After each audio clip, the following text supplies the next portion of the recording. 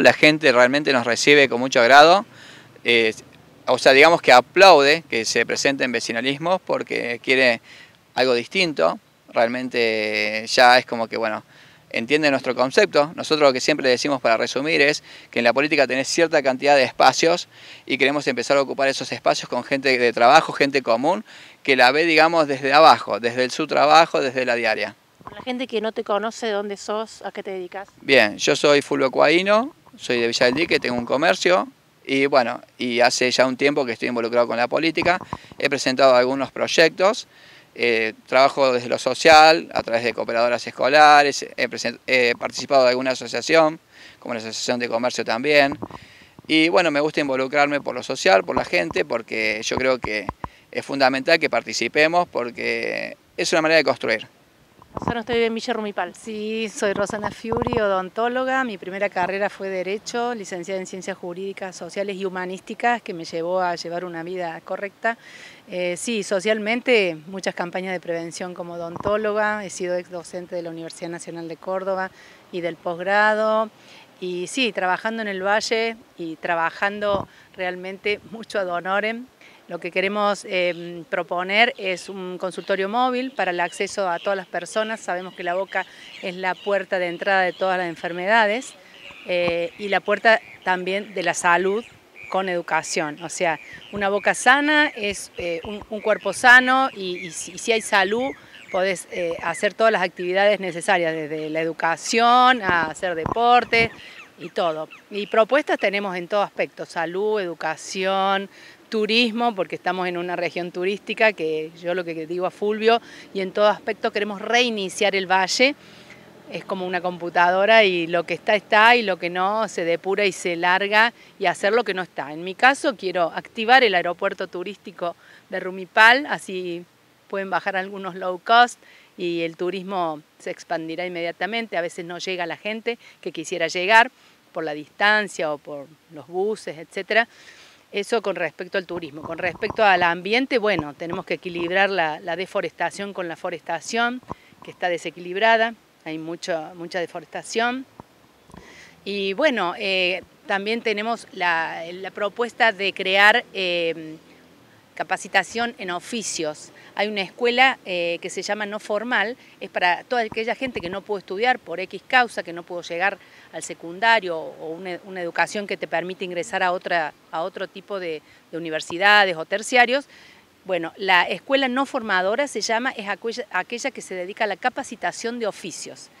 Entonces eso te va a, bueno, te va a dar una salida laboral, ser autónomos y así poder trabajar eh, independientemente y, poder satisfacer sus necesidades básicas. O sea, queremos el bienestar de toda la población, cada uno en su lugar, los niños, los adolescentes, los, los los, jóvenes adultos. También por eso hablábamos con Fulvio de, de la base de todo es la alimentación. O sea, alimentación, educación, eh, hacer atelieres para que los chicos tengan un punto de encuentro sin wifi, que puedan crear, que tengan eh, atelieres donde cada uno va a, inspirarse y poder desplegar toda la imaginación que tienen los chicos.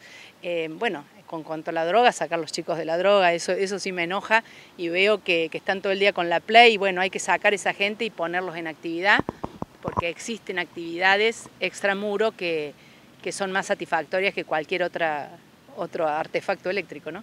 ¿Qué lo motivó a involucrarse en la política partidaria? Eh, siempre trabajé solidariamente, siempre realicé eh, ad honor en un montón de actividades, como soy profesor de piano y he dado las clases a los chicos del Champatquí, la banda que tocó ahora en la fiesta del disco El Arado, eso me da satisfacciones. O sea, todo lo que yo estudié en la vida me gusta ahora volcarlo a la sociedad, lo me llevó la, la necesidad de, de, que por ahí este, uno no tuvo el tiempo de, darle a la sociedad todo lo que uno sabe o estudió. Entonces ahora es el tiempo de, de, volver eh, y de llevar por un buen camino toda esa gente que, cuelga los guantes, digamos, ante el menor problema. Y no, hay que seguir y seguir por el buen camino, que eso nos va a llevar a, un país y de generación en generación eh, eh, una vida digna. ¿Cuáles son las expectativas concretas para el domingo? No es fácil, hay, nueve alternativas, eh, algunas eh, con mucha estructura, muy fuertes. ¿Cuál es el objetivo del vecinalismo independiente? Bien, nuestro objetivo principal es revalorizar el tema de la política. Justamente nuestro eslogan es volver a los valores, o sea, avancemos en valores, porque nuestra propuesta está centrada en el control, en la reducción del gasto político, porque bueno, queremos cortar con los privilegios, vemos que por un lado se está despilfarrando mucho dinero en la política y por otro lado faltan necesidades básicas. Estamos hablando de bajar la carga impositiva en las pymes porque hay que generar empleo privado. Acá en el Valle falta muchísimo el tema de empleo privado, no hay casi industria, no hay casi pymes. Entonces, nosotros lo que queremos es que la gente de trabajo, la gente común, empiece a confiar en que se puede practicar la buena política y lo vamos a llevar con hechos. O sea, el día de mañana, si no, somos, no llega a ser gobernador Beto Beltrán, va a ser legislador y lo va a empezar a demostrar. También queremos o sea, demostrar nuestro compromiso con el medio ambiente. O sea, nosotros tenemos un proyecto muy, muy importante que es el tema de la generación de energía eléctrica a través de los residuos sólidos. Un proyecto que ya está en práctica en Europa y tenemos un ingeniero que lo ha lo, conoce, estuvo trabajando en eso. O sea, acá no hay nada que inventar, ni tampoco probar. Sabemos cómo se hace y lo podemos traer a Córdoba y lo podemos implementar en Córdoba. Como proyectos que tienen que ver, obviamente, con acceso a información pública, obviamente con el tema de convertir la Oficina Anticorrupción en Secretaría Anticorrupción para un mayor control.